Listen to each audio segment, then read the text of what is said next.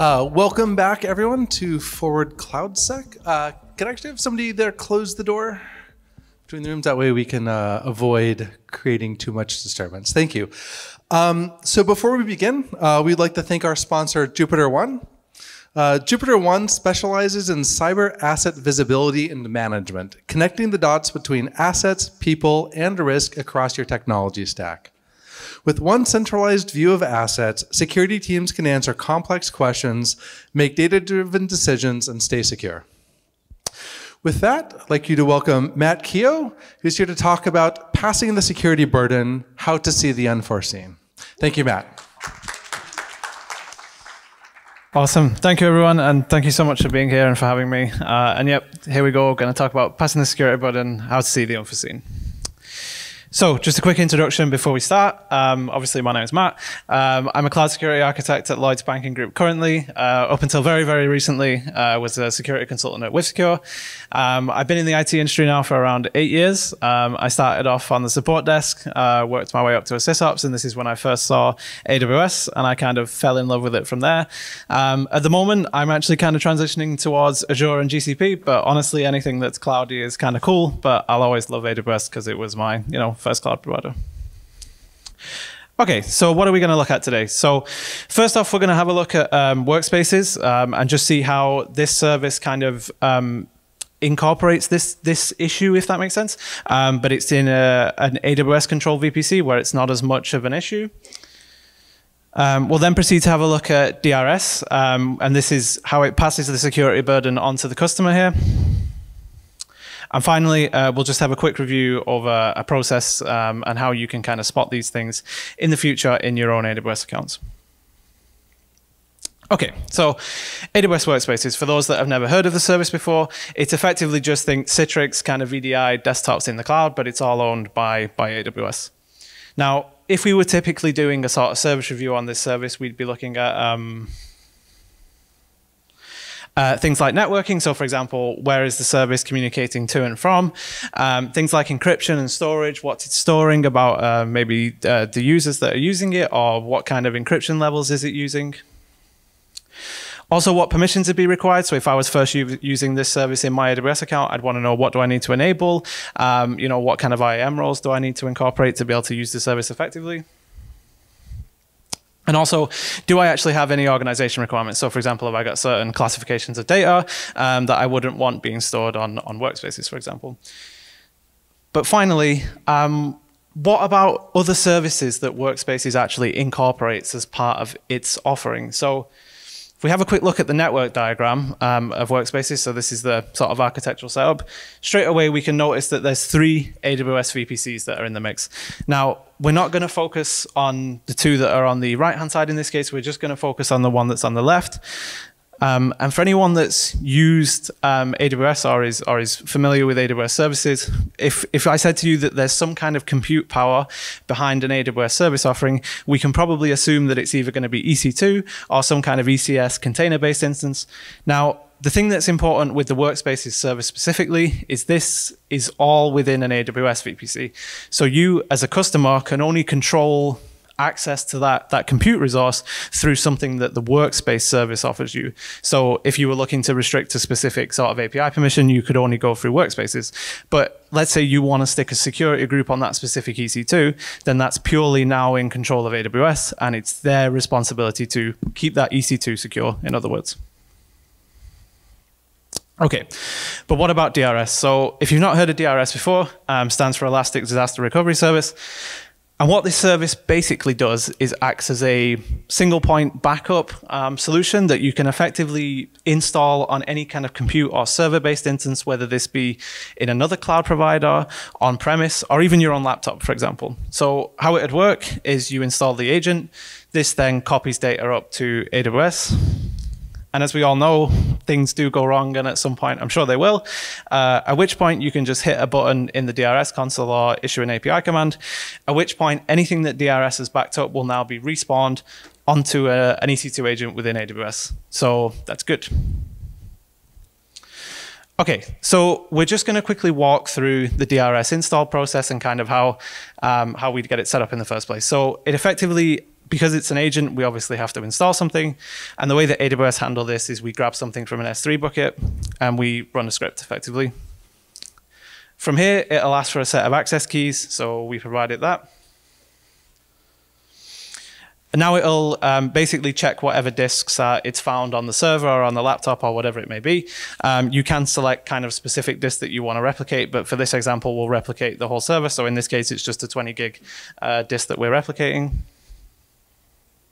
And after quite some time, everything will get installed and it'll start replicating up to the server, uh, to DRS, sorry. Um, this will take quite a bit of time because I assume that AWS do throttle this line so that not, you know, every customer in the world is instantly sending hundreds of gigs down this network. So it does take quite some time, but eventually um, it will appear in the DRS console. So now that our server's in the DRS console, um, we can see here on the left, um, it's ready. Um, you know, the backup is fully completed. It does take quite some time, but in the event of something going horribly wrong now with, with the actual server in the first place, we can hit initiate recovery job.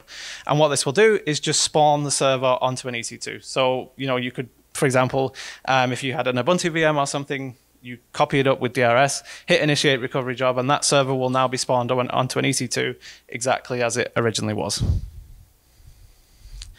And because of that, we can now all sleep much safer at night because everything's backed up and DRS has our backsides covered in the event that anything goes horribly wrong.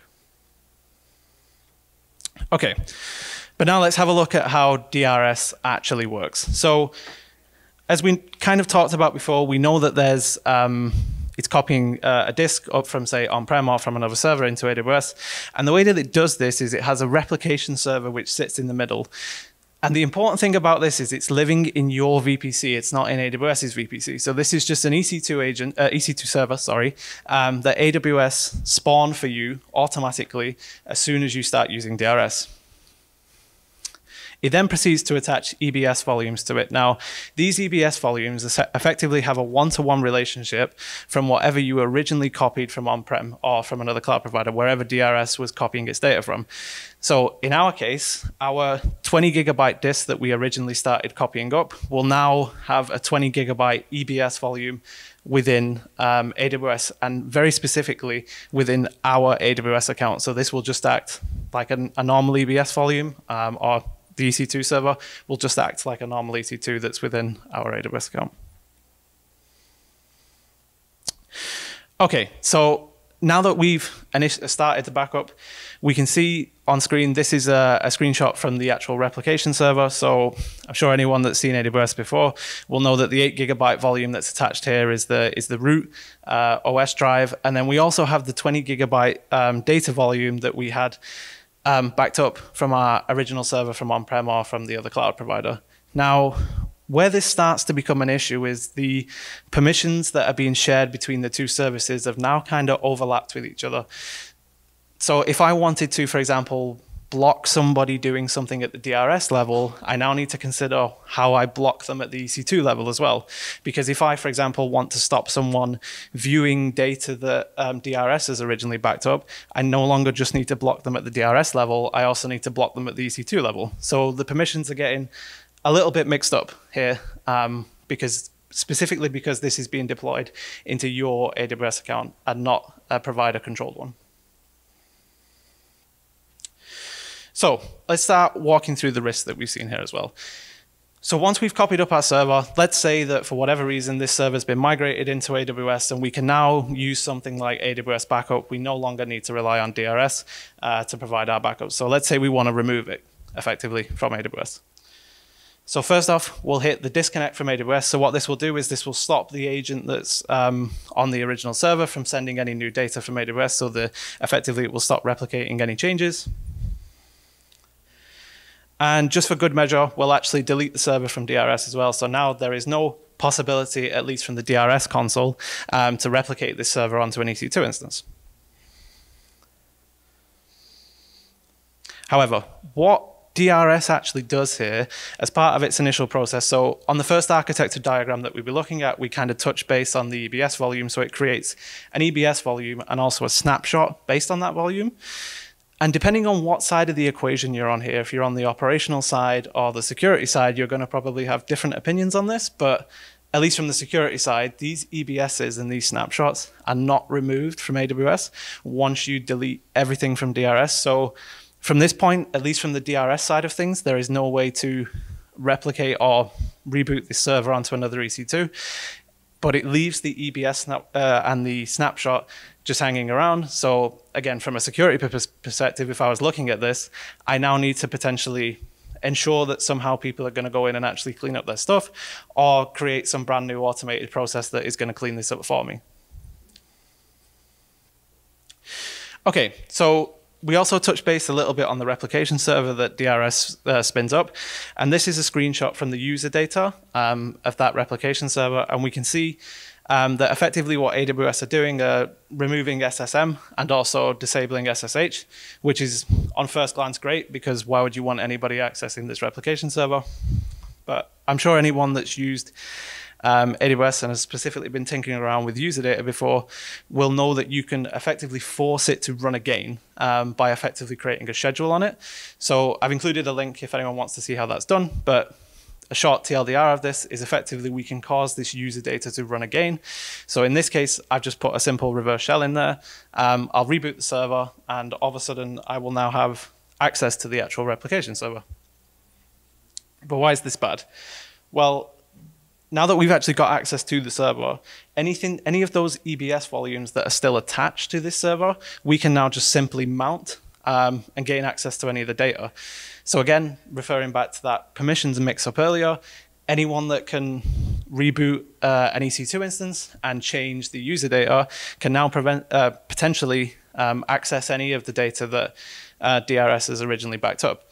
So looking at the screenshot there, probably looks quite familiar as the root OS drive, um, and that's because it is. And it's important to note that DRS never detaches these volumes from the actual replication server as long as it's still syncing with AWS, because this is how it ensures that they're both being uh, synced effectively.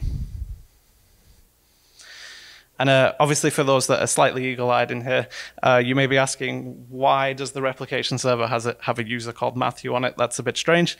Um, that's just because I set up SSH, because you know doing things through reverse shells just kind of sucks. So. But also something else that I was able to do with with DRS was effectively cause it to um, break. Um, and again, this is primarily because this is being deployed into my VPC rather than AWS's. So we've kind of touched base on how DRS actually works with the two replications with the replication server. Sorry. Um, and the way that I was able to at least force it to break was to initiate a backup on, and then this will instantly create an EBS on the original replication server um, and start copying data to it. Now, while this backup was in progress, I shut down the original uh, replication server it proceeded to uh, it sorry being AWS um, instantly spun up a new replication server to continue the backup process. Um, and then as soon as I rebooted my original server it just seemed to get completely stuck and the backup was unrecoverable from. Um, it, you just it would never fix itself no matter if I shut down the original two started up the new one again it was just completely stuck um, and DRS kind of has no automatic way of alerting that a backup isn't isn't working correctly. So again, if someone has enough permissions to mess around with EC2 in your account, they could effectively cause the DRS backup process to just never work, um, which from a again security perspective, not very great. Okay, so let's just summarize the risks that we've we've um, gone through. So first off, we've got EBS volumes that are being used in the account. Again, if someone's got access to the EC2 service within that account, not great because they can access this. We also saw that EBS volumes weren't being deleted and the snapshots. So once we removed everything from DRS, there's another process that someone has to go through, again, on the EC2 side. Um, we were also able to gain access to the replication server as well. Effectively, again, if someone has access to EC2, they now have access to all the data that DRS has ever backed up. We were also able to disrupt the service and to effectively cause it to stop backing up. Um, again, not great if you want to ensure that your backups are you know being synced up every time. And there was no way to actually alert to this as well. And also the the service permissions that are being used by both DRS and EC2 are now kind of a bit mixed up. Um, so it's not really clear from a preventative or you want to get good governance on the IAM side, um, of which you need to be blocking and which you don't, because it's the DRS service, although on, on the front you'd expect it to just be using one set, it's very heavily reliant on the EC2 side of things. And because we were kind of doing a service review here, there is always, of course, going to be the other stuff um, like networking, encryption, etc. But that's not the main focus of today. So just raising them for awareness, but that's not what we're primarily looking at. Now, in my opinion, all these risks that I've just termed red would be completely removed or mitigated to a significant factor that I'd be okay with if DRS was deploying stuff in an AWS control VPC rather than putting things on the onus of me as the customer. But having said that, this isn't actually a witch hunt or a finger pointing exercise at AWS. So data classification and a lot of the regulatory uh, compliance around backups is so red tapey and stingent that I don't actually blame AWS for making the decisions that they've made to put it in in the in the customer's um, VPC. But it's important to understand these risks. And this is the whole point of this talk to be to ensure that you're aware of them and that you know how to spot them. Um, and i think as one of the talks said earlier you know if a cloud provider is doing something um, it is kind of your responsibility to secure that if you're going to use the service. Obviously we can always promote them making kind of better choices but we have what we have and the point of this talk is to alert you to that fact and just to note as well, AWS isn't the only um, cloud provider that do, does this. I don't know if anyone's uh, seen Cloud Composer in, in GCP, um, but that effectively spins up a managed Kubernetes cluster within your VPC, which as soon as it, although the GCP actually look after the cluster, so to speak, it does have a network address, you know, which anyone that's in your VPC already can, can instantly reach and start messing with. So it's not just AWS. But on that note, so just sticking uh, back on purely on, on AWS as well, it's not just the DRS service that does it. Um, you know, a lot of AWS services do make use of other services in some way, shape, or form. Um, it's important to note the distinction between whether it's being deployed in a customer VPC or an AWS VPC, because at this point, this changes the risk and whose responsibility it is. So DRS was just an example of where it would be the customer's uh, job to kind of mitigate the risks. Um, to give another example as well, S3 would be quite a common one. So um, just to give a bare bones example, if you think CloudTrail, if anyone's ever created one through the console before, it automatically creates the S3 bucket for you. Now, did you look at the actual bucket policy that it created? Did you look at the bucket ACLs? Like, although they may be secure, you know, from an like we know that AWS will make them secure to some degree. Are they acceptable for your organization? Are they secure for you? You still need to check all the time. Anything that spins up another service, um, give it a good prod. And just a final note that th like these risks can still be present in AWS VPCs, but if if the if the service or the product is deployed within an AWS VPC, it's their responsibility to fix uh, or to secure, so to speak, um, and not yours. Okay, so defining a process. How did I spot this, and what would be my recommendation for kind of spotting these kind of things in the future? So when you start using a new service, always read the provider docs, you know, they're always great, especially look for network architecture diagrams if they're available, because the amount of things that you can just spot straight away by looking at those is always great. But at the same time, if you've gone to all that effort of actually creating those documents, build some internal pages and an internal wiki page because actually when you start to put pen to, uh, pen to paper, so to speak, you'll actually notice a bunch more stuff while you're doing that always keep the organization in mind. So just because a service is okay for one person or one organization doesn't necessarily mean it's okay for another. So just always keep your organization and what level of risk you're acceptable with in mind. Um, but also boot up the service and actually have a play, have a prod. So I'd never, for example, if I was doing a review of a new service, I'd never just trust what the documentation is saying. You know, this is how we find zero days and the like. So always boot stuff up, have a prod, have a play, make sure you understand end to end how the service works and what it does. And most importantly, always keep service dependency in mind. So if a service happens to be using parts of another service, just always make sure you've tested that other service end to end as well. So exactly like we saw with DRS, you know, as soon as I noticed it was using um, EC2, make sure you prod that EC2 component that it's relying on just as much as you're prodding the original service. And with that, thank you so much for listening, and I'd be happy to take any questions.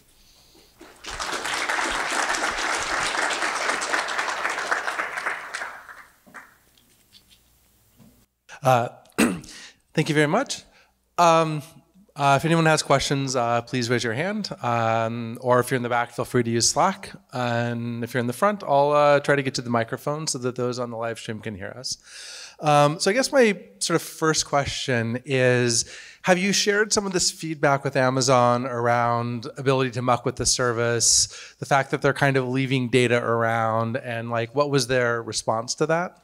Uh, yeah, we did actually. So I actually had a really good response off Amazon. They were kind of asking, is there anything that we can do to kind of make this better? Um, I have provided my feedback to them, and obviously we did have a long discussion about how um, regulation and compliance can get in the way of backup services quite heavily. Um, but yeah, as a TLDR, spoke to them, had really good feedback. Um, but yeah, they're aware of this at least. Yeah. Um, and I would say, like, sort of, are there things you would want more from them? So, for example, you talk about saying, "Hey, you're trying to make sure that we're all aware of this," and I think that's great. Um, but naively, I would sort of want Amazon to be calling this out and sort of putting this in the big red flashing blink tag, saying, "Be aware of these things." Uh, yeah, absolutely. So, I mean, in an ideal world, I think you know Amazon could be a bit more um, sort of potent about this, and I think at least personally, there's not currently really a good way to use DRS if you are using EC2 in your AWS account. So, which if you want to start using uh, DRS, it kind of needs its own separate AWS account. So, yeah, documentation could be a little bit clearer on that. Um, and then have you thought about like other ways that you could use this to like exploit or steal data? For example, snapshotting EBS volumes, making them public. Uh, yeah, so I think that's that's one of the main points of this talk, right? That like as soon as a service starts to rely heavily on another service, all the risks that are present in EC2, for example, now apply to DRS. So as soon as it creates a, a snapshot, for example, yeah, the risk is there that it could be made public as well. Um, any other questions? Yeah, one sec.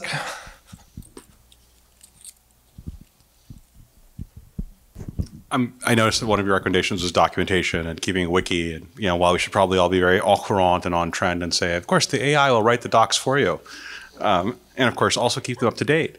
Uh, I was curious if you'd, uh, uh, and apologies if I missed it earlier, recommend places where we are keeping any of this knowledge in machine readable form it's almost impossible to get just the list of services and the price tags they have able to simulate your own calculators on how much these services cost.